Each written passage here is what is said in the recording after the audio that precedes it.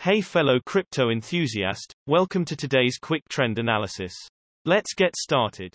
In today's video you will find out how the price of NEO has changed and what the technical indicators SMA, RSI, divergence and stochastic RSI are showing.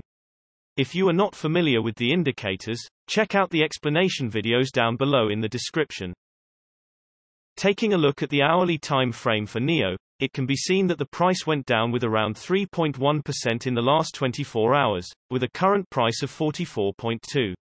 However, the volume wasn't especially high, so this move wasn't very strong.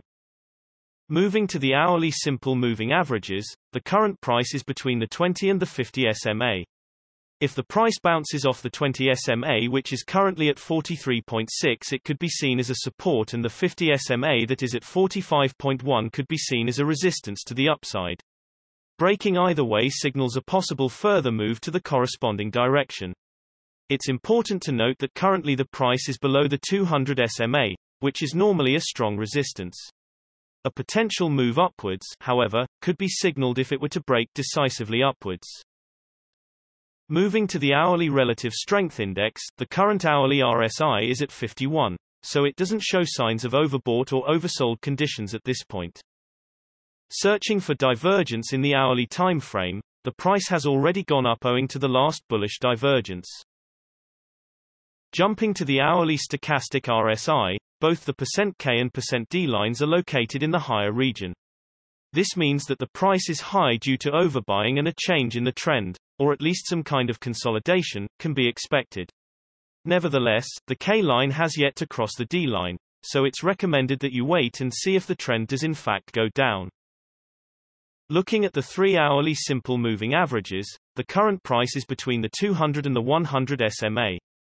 If the price bounces off the 200 SMA which is currently at 43.0 it could be seen as a support and the 100 SMA that is at 44.5 could be seen as a resistance to the upside. Breaking either way signals a possible further move to the corresponding direction.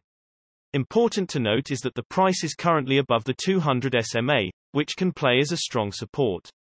However, breaking it decisively to the downside will signal a potential big move down. However, the shorter time frames are not very accurate and the bigger time intervals like the daily should also be considered for longer price development. Moving to the 3-hourly relative strength index, the current 3-hourly RSI is at 43, so it doesn't show signs of overbought or oversold conditions at this point.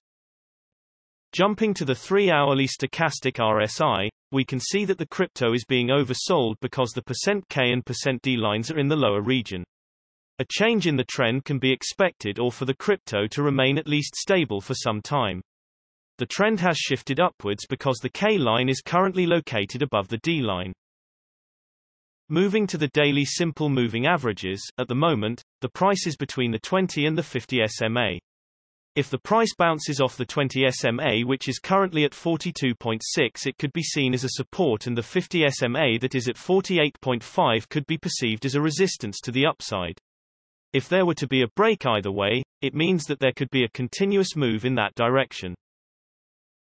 Jumping to the daily relative strength index, the current daily RSI is at 48, so it doesn't show signs of overbought or oversold conditions at this point.